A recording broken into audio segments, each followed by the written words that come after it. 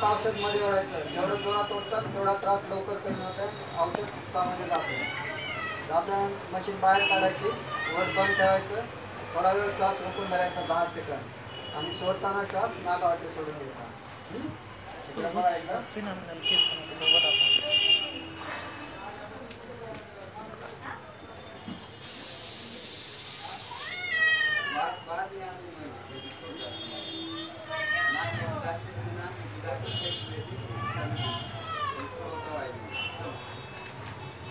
आलं लक्षात? आणि एकदा तोडून गोळी टाकून द्यायची नाही परत एकदा ओढायचा असेल ना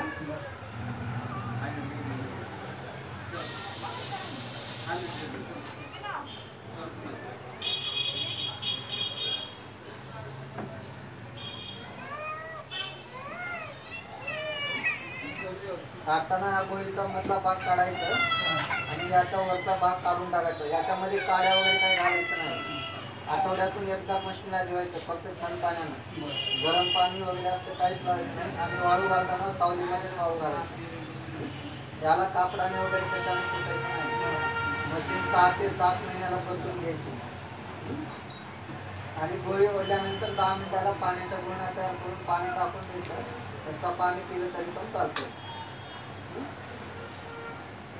तुम्ही ओढून दाखवतात का एक गोळी? पे देखो. काय होत नाही जेवण बी केलं तर काय होत नाही.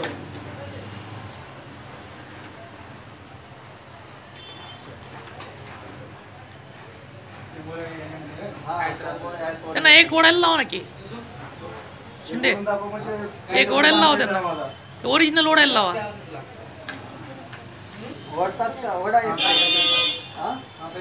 नाही नाही नाही. त्यांना ओढायला लावा. ओढा मामा एकदा ओढायचं टेक्निक ते. बरोबर. मशीन उघडा की.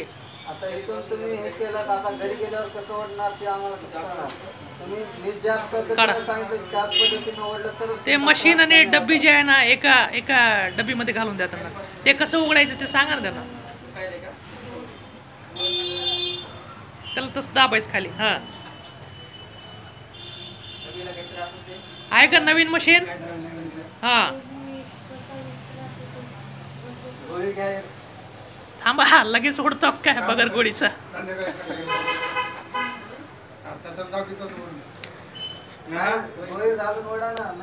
Breathometer demo. बघा पेशंट डेमो काउन्सलर डेमो.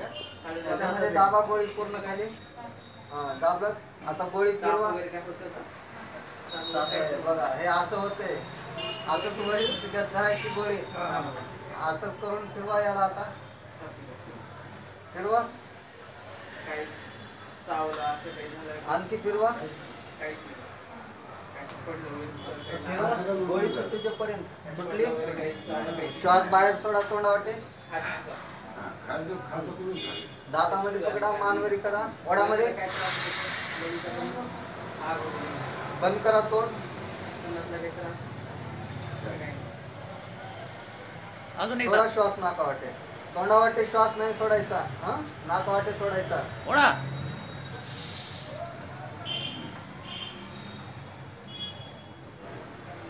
गिळा त्याला अजून एकदा.